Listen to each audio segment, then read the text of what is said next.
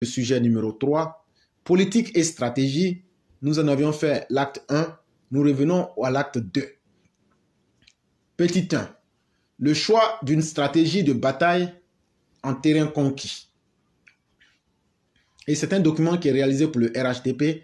Donc, euh, c'est un document politique et stratégique. À l'aune des élections locales de 2023 ou de la présidentielle de 2025, le RHDP doit chercher résolument à continuer d'augmenter son capital symbolique politique. La recherche de réponses à cette problématique n'est pas néanmoins simple, surtout en présence d'une opposition manipulatrice et très irresponsable. Fort heureusement, cette opposition, avec ses deux poids lourds qui ont déjà géré le pouvoir d'État, a suffisamment montré ses incapacités qui doivent être en réalité pour le RHDP une opportunité pour concevoir son plan stratégique de bataille des élections à venir contre ses adversaires. Avec qui, où et comment mener une bataille sont les éléments clés du succès de toute conquête que l'on redoute. Petit 2. Le processus d'action progressive. Notre réflexion sur ces questions porte sur deux niveaux d'attaque, dont l'un concerne la gestion d'une commune et des régions favorables au RHDP, où les élus doivent être mis à contribution en les amenant à poser des actions qui vont changer les opinions et les regards sur le parti. L'autre concerne les structures du RHDP et leur mode d'animation pour la mobilisation des militants. L'un comme l'autre ont la même raison. Elle consiste à insister auprès des populations pour prouver que nous sommes les meilleurs sur tous les plans.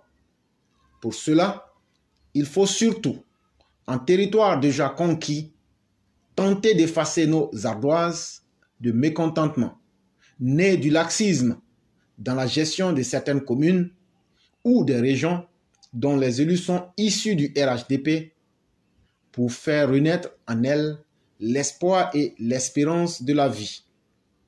Cela, en vue de gagner l'estime des populations, en facilitant entre le politique et les électeurs la confiance, la sympathie et la considération pour le parti. L'utilisation de cette hypothèse fait appel aux enjeux de vérité. En réalité, ceux qui comptent en politique sont ceux qui votent. Et leurs vœux sont que les propositions que l'on leur fait soient vérifiables. 3. L'approche conceptuelle des enjeux. Ainsi donc, les valeurs de confiance, de sympathie et de considération sont des préoccupations d'espérance humaine qui, mises en œuvre, doivent permettre d'établir un lien d'affection entre les opinions citoyennes et les ambitions politiques du RHTP.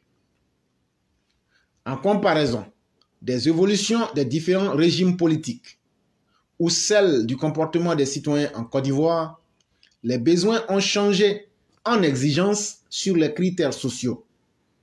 Ils sont évalués aujourd'hui à la limite du niveau de développement même du pays.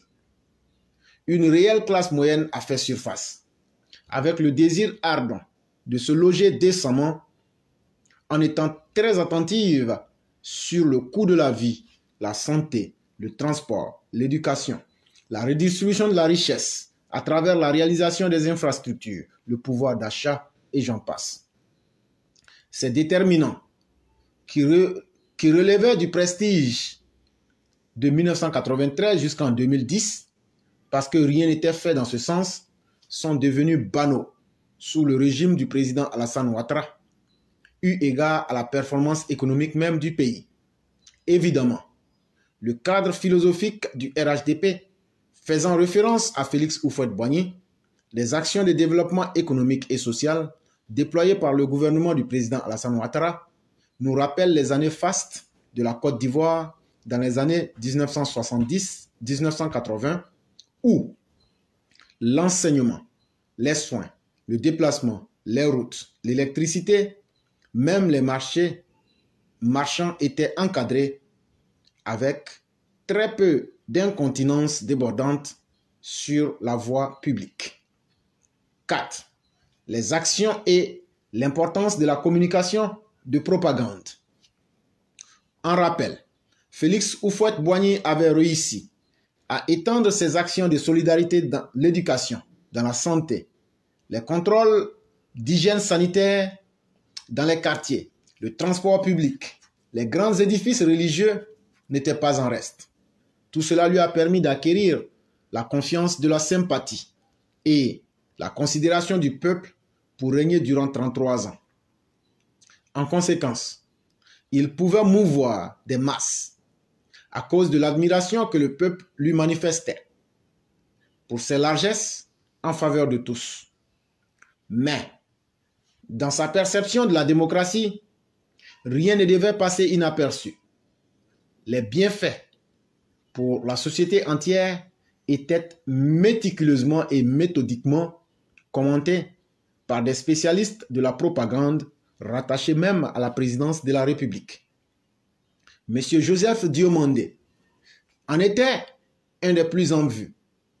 Chargé de la communication institutionnelle, un de ses rôles était de commenter tous ces faits et gestes, manifestations, dans des descriptions presque pures pour informer et surtout conditionner l'opinion à percevoir Félix Houphouët-Boigny autrement.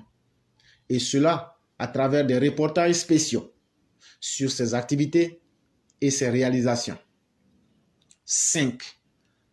La force dans le nombre pour les prochaines élections.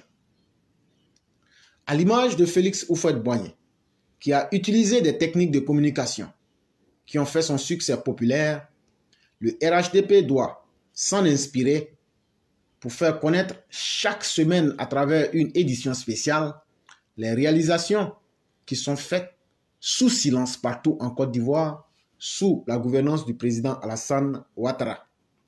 Le RHDP doit également, dans la quête des opinions, baser relativement sa politique d'occupation du terrain sur une gestion orientée de ses communes et régions sur l'embellissement et le bien-être social.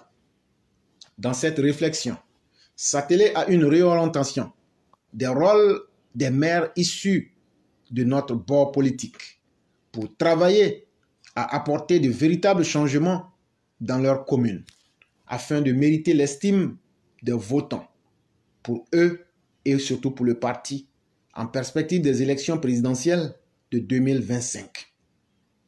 Pour ce faire, en accord avec les populations, élaborer des plans d'aménagement secteur par secteur des activités existantes et de procéder à l'identification des nouveaux besoins réels communautaires, à capacité de mobilisation de ressources équivalentes, standardiser le modèle de gestion de la commune de Koumassi à toutes les autres communes d'Abidjan gérées par le RHDP. Aussi, il ne faut plus de chèques en blanc pour les élus du RHDP. Il faut inscrire dans leurs prérogatives le maintien d'un cadre de vie plaisant pour le champ visuel, organiser, sectoriser et réglementer les types d'activités économiques, réhabiliter les domaines publics, songer à préserver un bon renom du RHDP.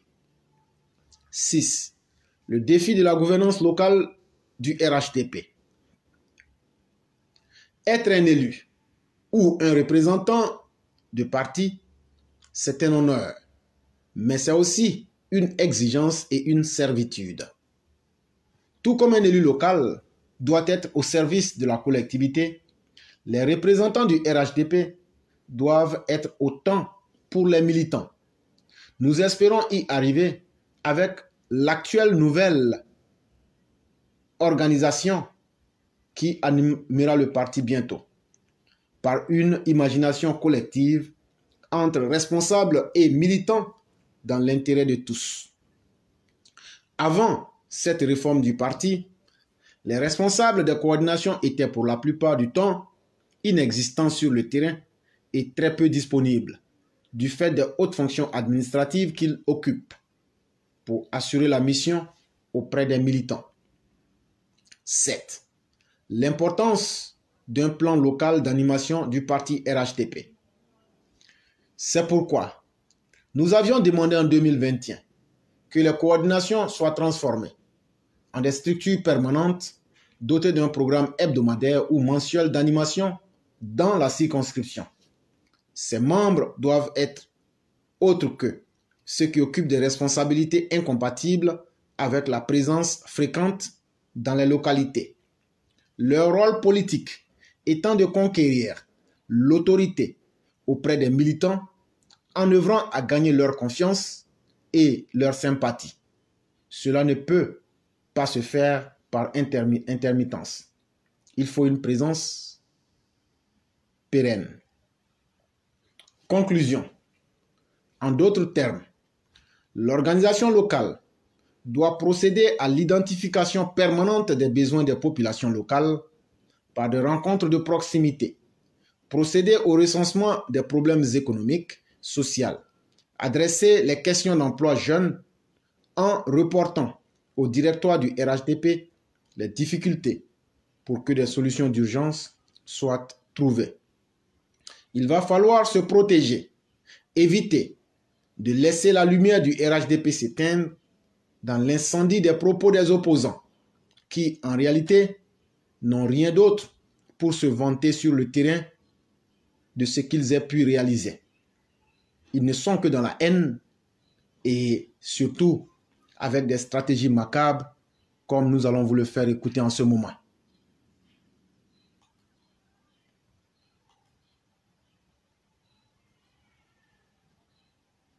C'est de descendre dans les rues, de rendre ce pays ingouvernable, de mettre des bois, des parlots, des arbres, des tables, des pneus partout sur toutes les routes, de descendre à 1 million, 2 millions dans la rue, 500 000, bloquer Abidjan, bloquer toutes les villes de Côte d'Ivoire pour obliger Alassane Ouattara à venir à la table de négociation et puis faire le changement.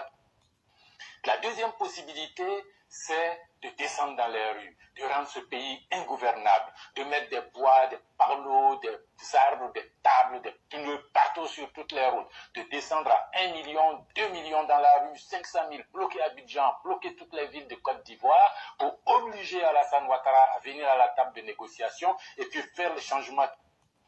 La deuxième possibilité, c'est de descendre dans les rues, de rendre ce pays ingouvernable, de mettre des bois, des parlots, des arbres, des sur toutes les routes, de descendre à 1 million, 2 millions dans la rue, 500 000, bloquer Abidjan, bloquer toutes les villes de Côte d'Ivoire pour obliger Alassane Ouattara à venir à la table de négociation et puis faire le changement.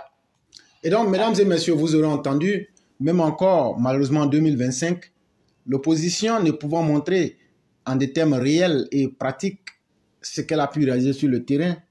Vous avez entendu Mamadou Koulibaly, ce qu'il a dit, ils vont refaire la même chose jusqu'à ce qu'ils puissent avoir le pouvoir dans le désordre et dans la violence. Et le RHDP doit éviter de laisser la lumière du RHDP s'éteindre dans les incendies des propos de ses opposants qui, en réalité, n'ont rien pour se vanter en face du peuple de Côte d'Ivoire.